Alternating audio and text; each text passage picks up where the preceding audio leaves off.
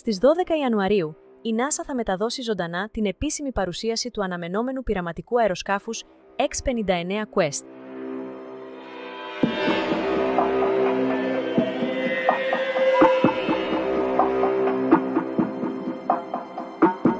Το μοναδικό X-59 Quest έχει ως στόχο να αλλάξει την βιομηχανία των αερομεταφορών για υπερηχητικές πτήσεις χωρίς ηχορύπανση. Ο χαρακτηριστικός βροντερός ήχος μιας υπερηχητικής έκρηξης συνδέεται εδώ και καιρό με οχήματα που ταξιδεύουν με ταχύτητες μεγαλύτερες από 1 μαχ. Όταν η ταχύτητα ενός αεροσκάφους ξεπερνά την ταχύτητα του ήχου, προκαλείται ένας δυνατός θόρυβος που μπορεί να τρομάξει ανθρώπους και ζώα σε κοντινή απόσταση, καθώς και να σπάσει παράθυρα αν είναι αρκετά δυνατός.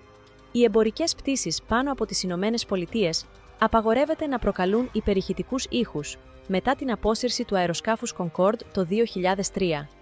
Αντίθετα, το εξελιγμένο X-59 σχεδιάστηκε για να ταξιδεύει με ταχύτητα περίπου 938 mph, παράγοντας χαμηλότερο ήχο.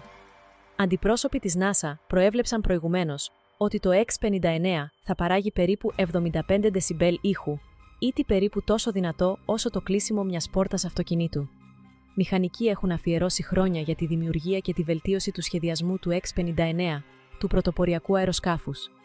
Το πειραματικό αεροσκάφος που θα παρουσιαστεί την Παρασκευή είναι πολύ μικρότερο και πιο επιμήκες από παρόμοια αεροσκάφη.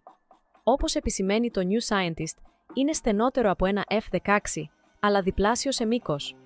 Η μύτη του αεροσκάφους αποτελεί σχεδόν το μισό μήκος του αεροπλάνου, για να διασφαλιστεί ότι οι ακτίνες κρουστικών κυμάτων που δημιουργούνται κοντά στο μπροστινό μέρος δεν θα συγχωνεύονται με τα κύματα που δημιουργούνται στο πίσω μέρος για μικρότερο θόρυβο.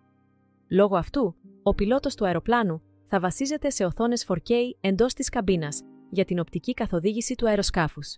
Κατά την παρουσίαση, το X-59 θα πετάξει με υπερηχητική ταχύτητα πάνω από πολλές πολιτείες των Ηνωμένων Πολιτειών και η NASA θα αξιολογήσει τις αντιδράσεις του κοινού.